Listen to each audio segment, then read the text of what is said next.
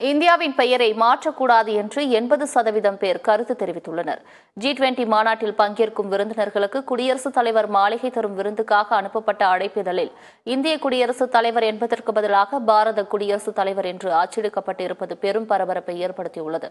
இந்தியாவின் பெயரை பாரத் என்று மாற்றம் செய்ய மத்திய பாஜக அரசு திட்டமிட்டுள்ளதாக தகவல் பரவி வரும் நிலையில் இந்திய அளவில் பெரிய விவாத பொருளாக மாறியுள்ளது.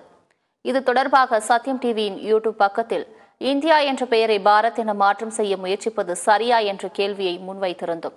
அதில் நாட்டின் பெயரை மாற்றக்கூடாது என்று எண்பது சதவீதம் பேர் கருத்து தெரிவித்துள்ளனர். பாஜகவின் திட்டம் என்று பதினோரு சதவீதம் பேரும் இந்தியா கூட்டணிக்கு எதிர்வினை என்று ஒன்பது சதவீதம் பேரும் கருத்து பதிவிட்டுள்ளனர்.